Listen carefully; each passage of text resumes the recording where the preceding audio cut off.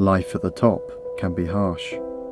Creatures braving the elements at this altitude are perfectly adapted to the bleak and bitter terrain. Mountain hare and ptarmigan have endured here since the last ice age, fur and plumage changing with the seasons, providing a perfect camouflage. But survival is so much more precarious today, man's impact on climate and landscape driving them ever higher in search of food and safety.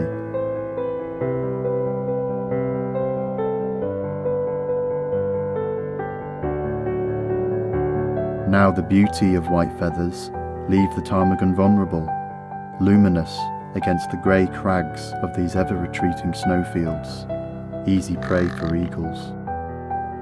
As for the hare, this season 38,000 were culled, stink pits filled with their pitiful remains, drawing predators into the line of fire, with a cascade of consequences for this fragile ecosystem. Walk these high places, capture these pale silhouettes while you can, while there's still room for them at the top.